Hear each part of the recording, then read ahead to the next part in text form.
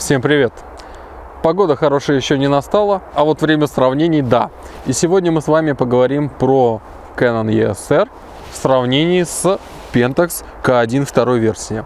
В принципе, тушки стоят примерно одинаково. К сожалению, у меня нет топового полтинника для а, EOS R, поэтому приходится использовать дешевенький 50 мм f 1.8 STM. Здесь же у нас 50 мм 1.4 премиум а, объектив от компании Pentax, поэтому в каких-то моментах этот а, фотоаппарат будет выигрывать. Да, а, сразу уточняю, что сегодня мы будем смотреть в основном качество снимков, то есть посмотрим, как матрицы этих фотоаппаратов ведут себя в деле.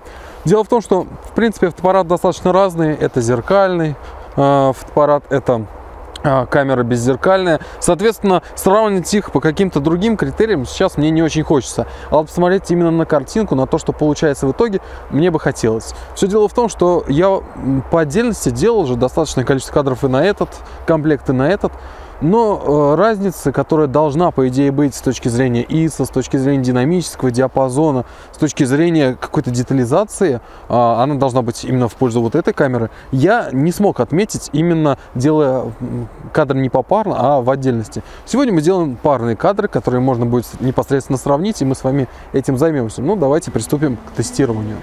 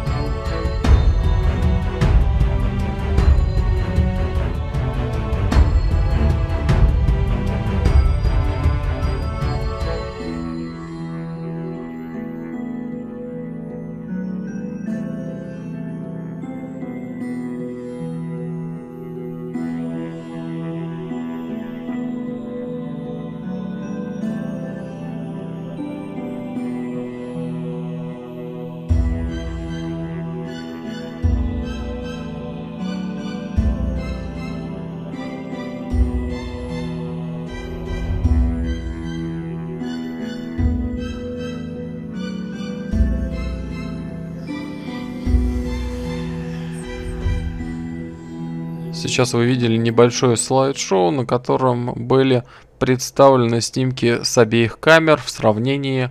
Но эти снимки были проявлены, соответственно, мною в Lightroom. И изначально они, конечно, друг от друга гораздо сильнее отличались, я бы так это сказал. Потому что камеры все-таки работают немного по-разному. Давайте посмотрим, как выглядели сырые снимки с камер до того, как они прошли проявку в Lightroom. Первый кадр, в принципе, все настройки вы видите в верхней части, что на какую камеру снято, слева у нас Pentax, справа Canon. Я пока коррекции не отменял, потому что хочу показать, как с ними выглядит изображение при стопроцентном кропе. Давайте вот приблизим, например, вот этот вот небольшой, не знаю, как это назвать, кустик.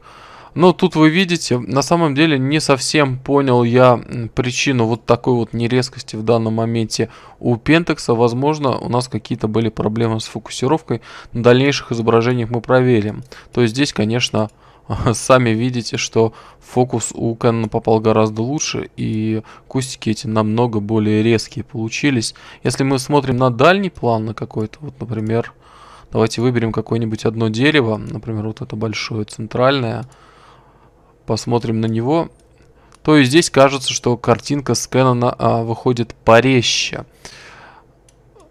Сложно сказать, с чем это связано непосредственно на данном снимке, потому что в дальнейшем вы увидите, что не все так однозначно. Но вот если мы говорим про конкретно этот снимок, то здесь определенно у нас Canon смотрится интереснее, несмотря на то, что оптика на нем используется совсем уж дешевенькая. Да, если мы отменяем, а, вот здесь вот щелкаем на Reset, все настройки у нас скидываются к заводским, а, с профилем Adobe Color, а, и, в принципе, то же самое мы делаем для Pentax. А, тогда картина у нас следующая. Если вы смотрели предыдущее видео, где мы сравнивали первый Canon 5D с Pentax, то вы помните, в чем там была соль по цветам.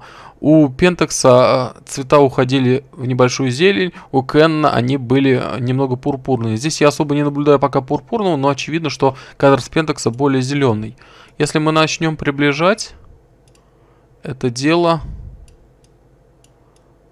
ну, то, в принципе, мы видим ту же картину, что и без какого-либо редактирования. На самом деле, а, весь процесс проявки, он в основном касался цвета, контраста, хайлайтов и так далее. То есть мы ничего особого в этом, в плане а, резкости не делали. Тут она по умолчанию, скорее всего, на обеих, на обоих кадрах стоит по 40. Давайте проверим этот момент на всякий случай. Здесь 40 стоит, и здесь стоит тоже 40. Собственно, опять все настройки вы можете видеть. Если мы здесь приближаем, давайте какую часть кадра? Давайте центр приблизим, да, вот между этими ветками попробуем приблизить. Так это выглядит на Canon, так это выглядит на Pentax. Ну, тут уже, конечно, тяжелее найти разницу между кадрами.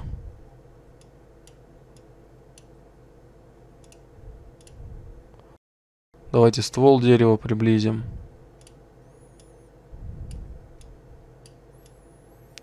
Ну, по-моему, максимально приближенные кадры, да, по резкости. Очень сложно найти какие-то отличия. Что касается начальных профилей, то опять же мы сбрасываем то, что у нас было изначально. Вообще, кадр Canon был немного темнее, но там без проблем это, конечно, мы вытягиваем.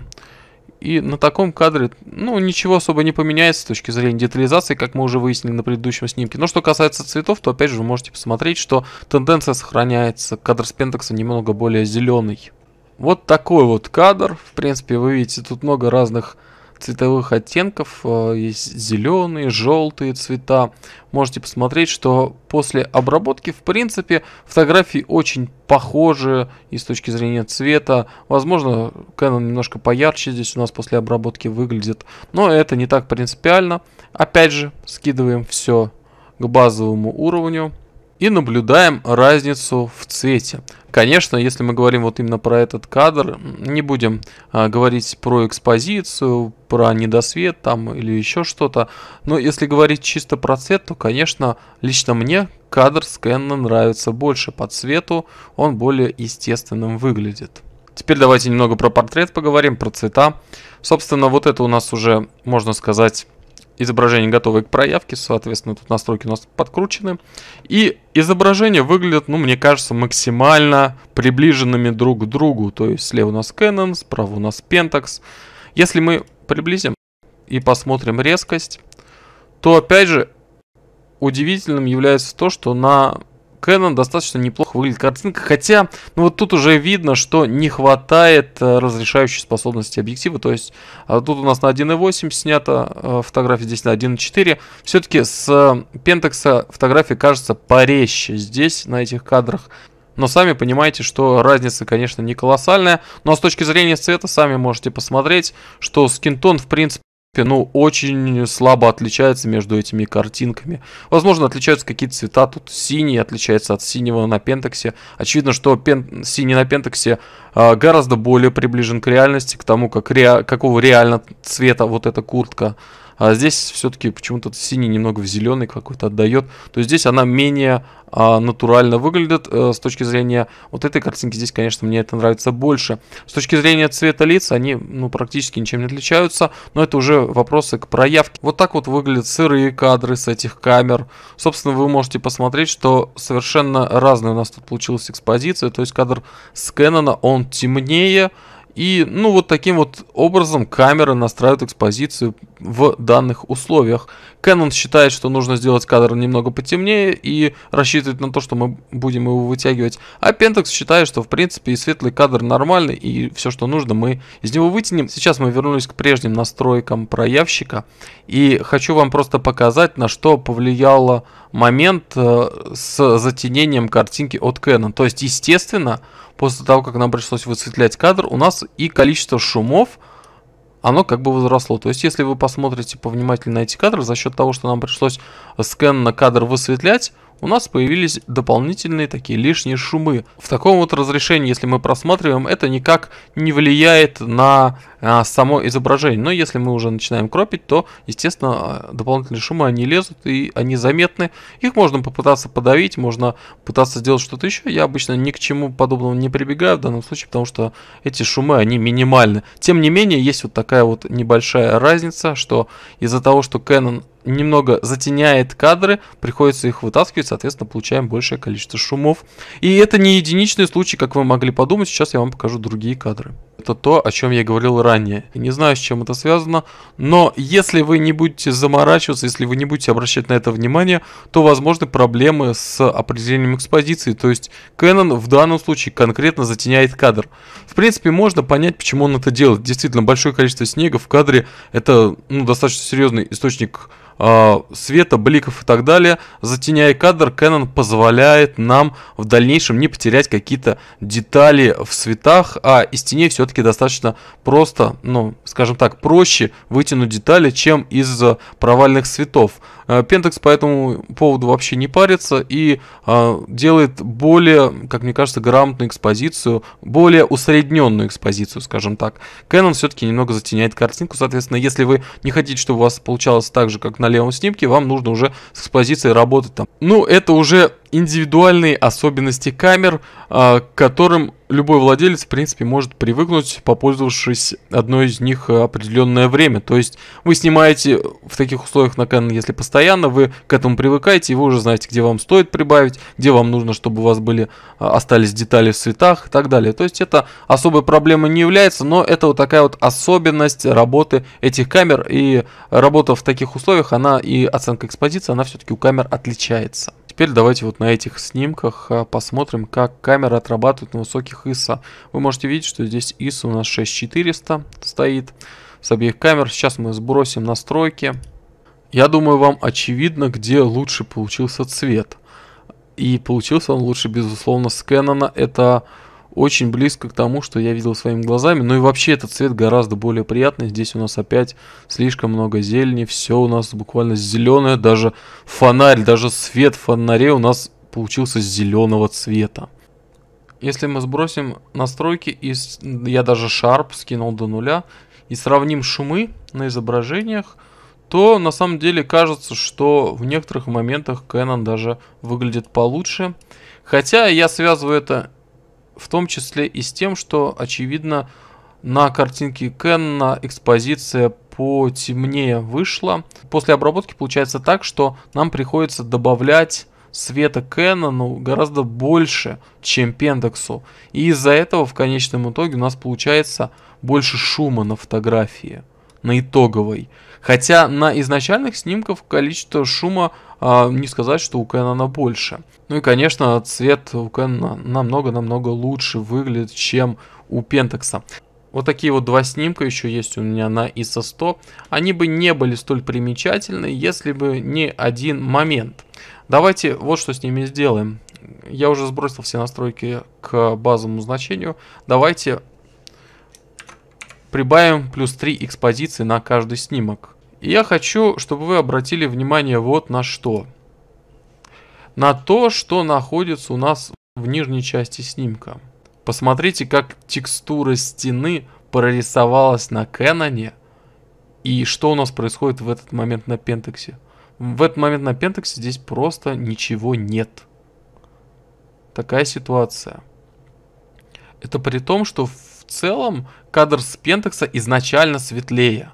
То есть тут у нас 1,6 секунды выдержка, здесь 1 секунда. То есть, по идее, кадр с Canon, он темнее. Но как бы мы не высветляли Pentax, только если мы прибавляем вот до 5 до 4 стопов, у нас здесь что-то да появляется. И тут уже такие технические дебри, в которые мне лезть не особо хочется. А, единственное, что стоит отметить, что с безусловно, детали из теней вытягиваются проще, чем с того же Pentax. Ну и нельзя просто так вот э, взять и не вернуться к вопросу цвета а, в портрете. Раз уж у нас есть такая возможность, я делал а, несколько парных снимков в студии на Pentax и на Canon. Сейчас попробуем с вами их сравнить. Конечно, совсем уж одинаковых вариантов у меня тут нету, но что-то более-менее приближенное я сейчас постараюсь найти. Собственно, вот два кадра, один с Pentax, другой с Canon. Это уже кадры с коррекцией, соответственно, вы можете оценить, что у нас получается после корректировки. Возможно, кадр с Pentax нужно сделать немного потемнее там, или снизить хайлайты и так далее, но это не особо важно. Давайте посмотрим, что у нас было изначально. То есть, если мы сбрасываем наши настройки, такой цвет был изначально у Pentax, такой цвет был у Canon. Еще раз. Вот вы можете сравнить. Думаю, тут какие-либо комментарии излишни. Это еще при том, что мы не применяем никакой профиль к Canon. Если мы а, используем, например, Faithful или используем портрет, мы получаем еще более интересный цвет. Чего особо не происходит, если мы обрабатываем кадр с Pentax, применяя это встроенные профили. Кадр особо лучше не становится. Ну вот единственный профиль портрета, собственно, он на конечном итоге был использован. Но все равно вы можете сравнить вот этот цвет, вот с этим цветом для Canon. Это у нас Fairful, это у нас портрет на Canon. Все вы видите, я думаю, не нужно каких-то дополнительных комментариев давать, где цвет лучше. Ну что, вывод, я думаю, вы сами уже поняли. А сегодня на этом, пожалуй, все. С вами был канал Полный Кадр. Обязательно ставьте лайки и подписывайтесь на наш канал. Спасибо за внимание. Делайте правильный выбор.